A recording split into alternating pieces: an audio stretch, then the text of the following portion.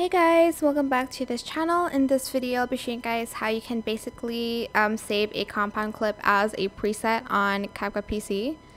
just going to add these videos and I'll just randomly add in like a filter and like some effects to it as well. Let's add in this filter. Select everything, right click create compound clip. And to save as preset, just right click on it and then select save preset. Then you're going to be able to find it in the video presets here, like so. I hope this tutorial was helpful for you guys. Don't forget to like, comment, share, and also subscribe to this channel if you haven't done that already. If you have any more questions about this video, leave it in the comment section down below. I'll try my best to answer them all for you guys.